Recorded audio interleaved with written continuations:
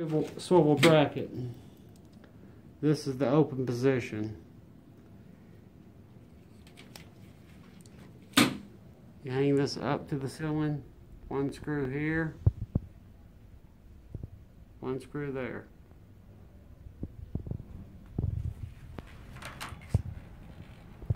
Bring the blind up.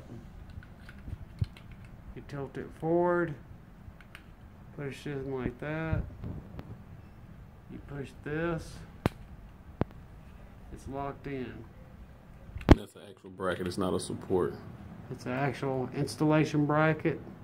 It's not a center support. You can use this instead of the end, actual end brackets. We'll put two on it to show you that it can hold itself up.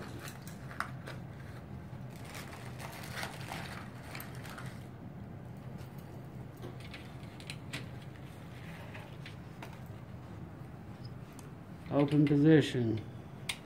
This goes under the front lip. Push it back. Um, um, sorry. On the front lip, push it back. It's locked in. I can hold this blind with just those.